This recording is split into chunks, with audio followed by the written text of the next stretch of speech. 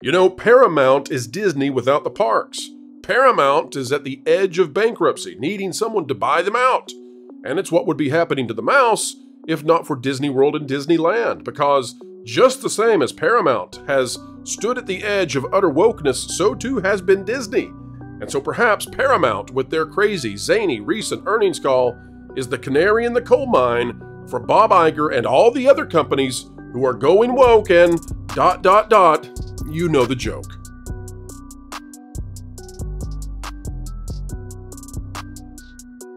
Hello, folks. Welcome back to the Pro Channel.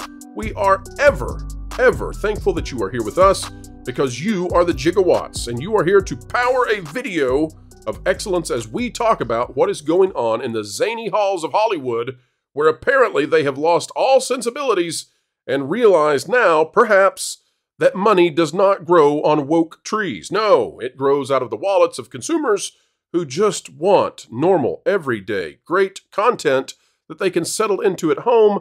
And oh, by the way, they'd like for their kids not to be proselytized by ideologues while they're away. That would be wonderful, wouldn't it? Let's get back to that. But Paramount did not realize that until it was too late. Perhaps a casualty of both DEI wokeness and the move to streaming. Is it the first streaming casualty? One of perhaps many? Well, folks, we'll tell you all about it right now. Uh, here's what we've got out of Paramount. This off of IGN by Alex Stedman. Came out uh, yesterday. Paramount refuses questions on earnings call and blasts the Mission Impossible theme song after CEO exit. Mission Impossible. Sorry about the way we phrased that. Uh, put that in quotations next time. Help me out, IGN. But um, what I would say is that we're only one degree of separation from Disney. Bob Iger didn't take like live questions. Bob Iger took robot questions pre-selected with a robot AI voice, and none of us know, you know, if it's real or not real. So this is this is not far from where we are with Disney. What does that say to us? Here's the article. Earnings calls tend to be pretty standard fare. Not been paying attention to Disney earnings calls, I'll say that. An overview of quarterly revenue, maybe some news here or there, and then a Q&A with analysts and investors, usually lasting around an hour. Paramount, however, a company swirling with big behind-the-scenes moves at the moment, and by the way, possible bankruptcy or being purchased, took a different approach during its Q1 earnings call yesterday. Chris McCarthy, one of three newly instated leaders at Paramount, reiterated the main points of the earnings already shared with investors, made some brief comments about their new leadership structure, and then swiftly ended the call after just nine minutes. The company did not take questions and, somewhat hilariously, instead loudly played the Mission Impossible theme song on a loop. Well, that's one way to pivot. The unconventional earnings call came on the same day that Paramount Global announced some big news. Just hours prior, the company confirmed that CEO Bob Bakish, no folks, not of binging with Babish, would be stepping down, replaced by a trio of executives in McCarthy, George Cheeks, and Brian Robbins, who will now collectively make up the office of the CEO. Bakish had been with Viacom since 97, becoming CEO in 2016. When Viacom and CBS merged in 19, Bakish became the CEO of the combined company, which was renamed Paramount Global. All right, so, question to all of you. And Lou, starting with you, question is Did streaming kill Paramount? Is this the first real streaming casualty? Uh, no, not yet. Uh, look, Backus started out as Top Gun and wound up finding his mission was impossible, is what I was going to say. Oh, well played, Lou. Well played. Look, had they had no they, what go Lou? Just to add to your point, I think you're going the same direction I am. Is had they not leaned into streaming like Disney did, they would not be in this predicament. If they had been leasing it to Netflix, I, I look, it, all they all these media companies had to do was just say, you know what, that's a ton of investment. It won't pay off. We don't know how to effectively monetize it. Subscription models are subject to the, you know, the whimsy of the economy and the outlook for the economy is not so rosy right now.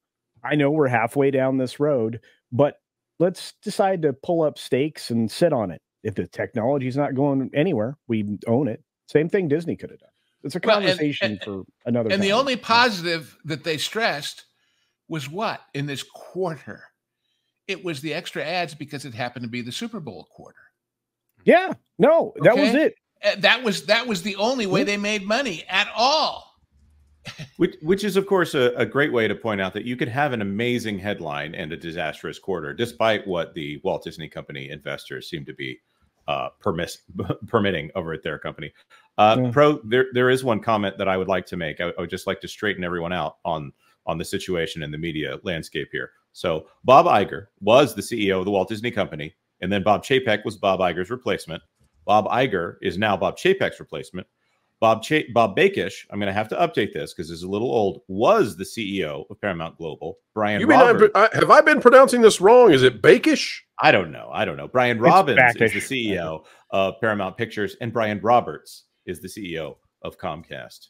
Here. You know, just, I'm, uh, I'm thinking. Just want to make that clear and I'm for thinking everybody. Jack Warner, Lew Wasserman, Louis B. Mayer, I don't. I can't think of a single Darryl Zanuck. I can't think of any of them that had a first name starting with a B. Maybe that's just a jinx in the industry. I don't know. I think I think Roberts is a good representative of of Comcast. Yeah, yeah, so. he's the exception. Yeah, sorry, just just had to interrupt with that that little bit of uh, cultural uh, insanity. Well, I, I want you to interrupt a little bit more, Jonas. I want you. To, I need your opinion on this. Do you think that Paramount is a casualty of streaming?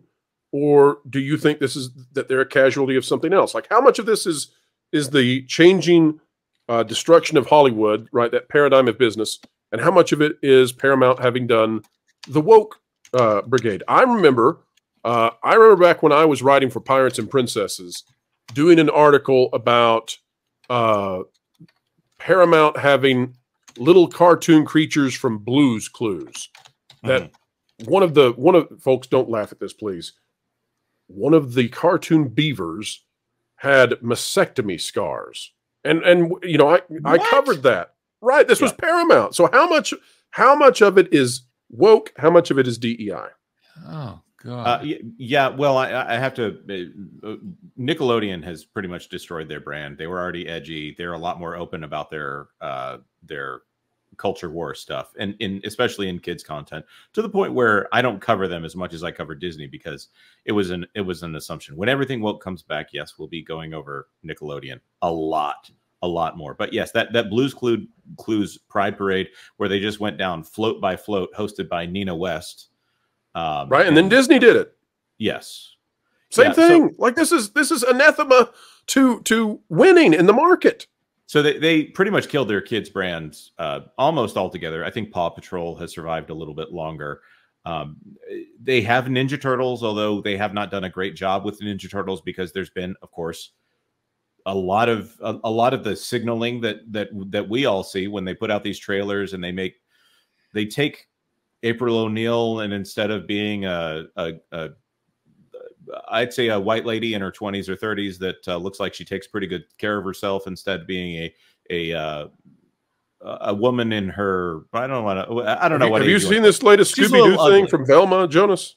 Well, a little bit of what they've done in Velma, but that's, those, that's a story for another day. But is, oh my, is that gosh. Paramount? But but you look at everything that they're doing with the things that should be the staples of their of their their company. They even managed to produce Yellowstone, but in the streaming space, they they really screwed that up because Yellowstone ended up being a win for Peacock because Peacock had the exclusive rights to Yellowstone first run on streaming. So when eh, they, they even had their own Paramount app that was not Paramount Plus. By the way, Showtime, they killed Showtime as well to the point where the Showtime channel is now Paramount Plus with Showtime. That is the literal name of the channel now, and it's in the premium tier of Paramount Plus. Yeah, you pay a bump to get Showtime as part of your uh, Paramount uh, they, subscription. They struggle to give this thing away. It's it's not a great streaming service. Not to mention what they have done to Star Trek. Uh, Star Trek, one of the most uh, uh, to call it syndicated at this point to indicate the number of episodes. If you did one episode a week on a podcast talking about Star Trek, you wouldn't have to come up with new content for more than seven years.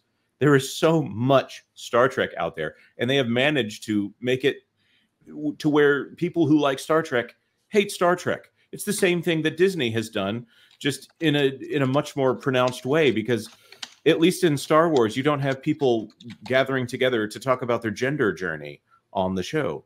Um, yes, there was one episode of TNG. Notwithstanding, I, I I cannot rant enough about how Paramount Plus is like this this concentrated form of, of, of if you took Disney and you chopped off the theme parks division and you chopped off ESPN and you just put it right there in that concentrated form. This is essentially what has happened to Disney, but people notice it a lot more because it's just Paramount Plus and they don't have a strong media voice with Bob Iger uh, the way Disney obviously does. Uh, It's by a- the way, about. Star Trek.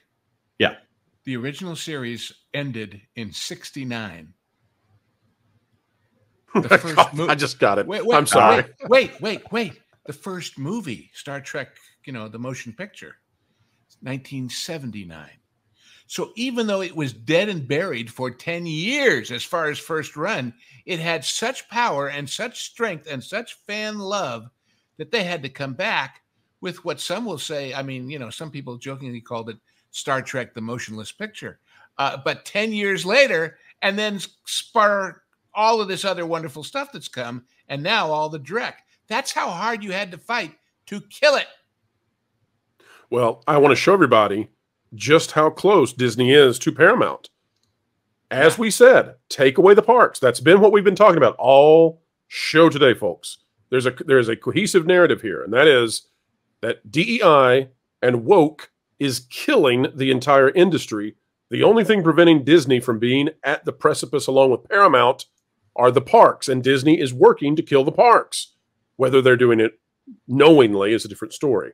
But take a look at this. I want you to see the difference in, in these streaming services. YouTube, 9.7% of all streaming content. Netflix, 8.1. Go down to Disney Plus, 1.7. Paramount Plus, 1. Disney Plus is 0.7% away from Paramount Plus.